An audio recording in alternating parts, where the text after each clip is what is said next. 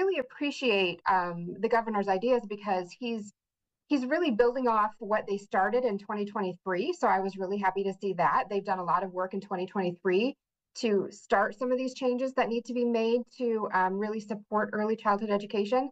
Jenna Anderson, the Thrive by Five Early Childhood Coalition coordinator in Noble and LaGrange counties, says that she is thrilled to see that in the agenda it is looking to expand the workforce.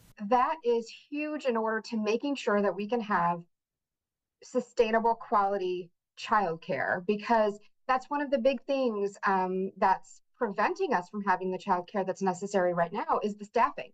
So there's a lot of turnover.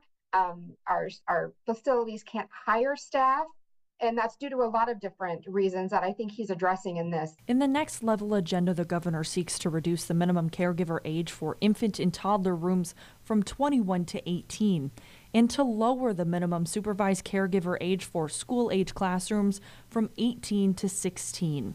Holcomb also looks to inform ongoing efforts to improve salaries for early childhood educators by conducting a statewide employee compensation study. That is huge.